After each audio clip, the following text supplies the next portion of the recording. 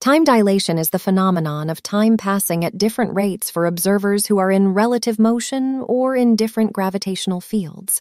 It is a consequence of the theory of relativity, which states that the laws of physics are the same for all inertial frames of reference, and that the speed of light is constant in a vacuum. Welcome to the channel. According to special relativity, time dilation occurs when two observers are moving relative to each other. The faster they move, the more their clocks appear to slow down from each other's perspective. This effect is symmetric, meaning that each observer sees the other's clock as ticking slower. However, this does not imply a contradiction, because the notion of simultaneity is also relative in special relativity.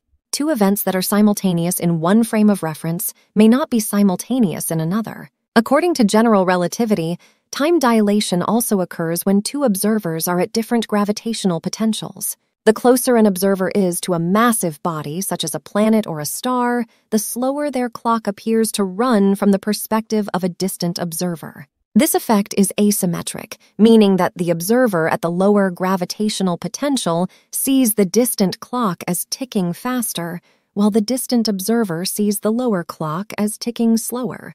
This is because gravity affects the curvature of space-time and therefore the rate of time. Thanks for watching.